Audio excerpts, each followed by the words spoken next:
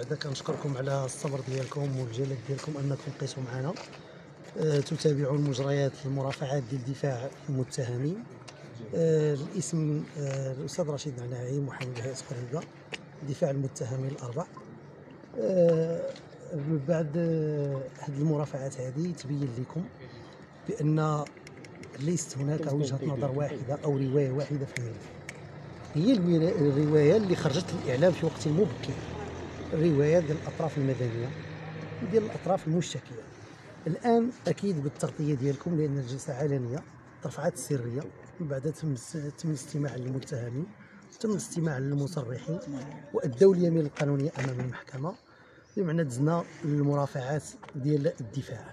الآن تتغطيو المرافعات ديال الدفاع وكيتضح لكم بكل تجرد. نحن لا نصدر هنا أحكام قيمة ولا نديروا تقييم المرافعة أو لا أننا نهضروا على على على على المراكز القانونية ديال الموكلين ديالنا ولا المؤازرين ديالنا باش نخلقوا رأي عام في اتجاه حنا اوفياء لواحد المبدأ. قلنا بأن ما غنخرجوش للإعلام ونخلقوا رأي عام من شأنه أن يؤثر على القضاء. الآن بكل تجرد ما دام الجلسة علنيه وتابعتوا المرافعات ناقشنا مع المحكمة الجرائم المنسوبة للمؤازرين ديالنا. ناقشناها معهم نقاشا قانونيا. وحاولنا أننا نوقفوا على الوقائع المنسوبة للمؤازرين ديالنا واش تنطبق عليها فصول المتابعة ولا لا؟ فالمرافعة ديال الدفاع كلها قسمنا الأدوار بيناتنا بطبيعة الحال في إطار التنسيق ما بين هيئه الدفاع ديال المتهمين قسمنا الأدوار بيناتنا هناك من ناقش ال- المرجعيه ال- ال- الدولية في في في ال- في المجال ديال هذه الفصول المتابعة اللي تتعلق بقانون محاربة العنف ضد النساء والسياقات الوطنية والدولية اللي اللي جا فيها. هناك من ناقش حماية الحياة الخاصة. وحماية المعطيات الشخصية وفق القوانين السارية ال- المفعول في البلاد. هناك من ناقش الوقائع وناقش تصريحات ولا ناقش وسائل الإثبات. هناك من من وقف حتى ما اعتبرته النيابة العامة ربما قرائن آه، ترجح كفة الاشتباه. فكل هذا الشيء ناقشناه ناقشنا القانون. ناقشنا الجنح المنسوبه للمؤازرين ديالنا الركن المادي ديالها الركن القانوني وشرعية التجريم والعقاب. لأن كانت مناقشة قانونية في دقيقة جدا في بعض الفصول اللي كانوا موضوع المتابعة. فهذا النقاش هذا من شأنه أن يجلي الحقيقة في الملف.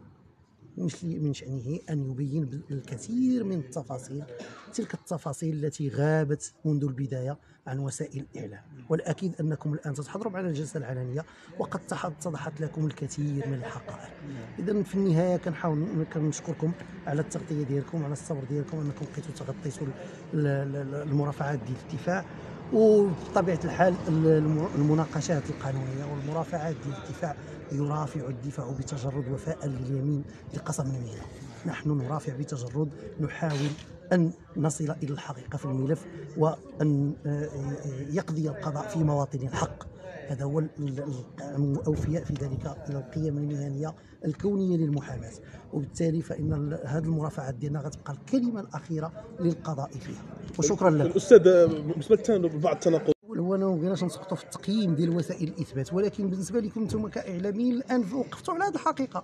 وقفتوا على أن مجموعة من المصرحات اللي اللي جا محضر الضبط القضائيه أنا ما تنقولش بأنهم صرحوا أمام الفرقة الوطنية بتلك التصريحات. جات المحاضر تتضمن تصريحات ولكن لما جاوا أمام المحكمة وجهتهم المحكمة اليمين القانونية وأداوها وأفضوا بشهادتهم نفاوا أن تكون ديك التصريحات قد صدرت منهم.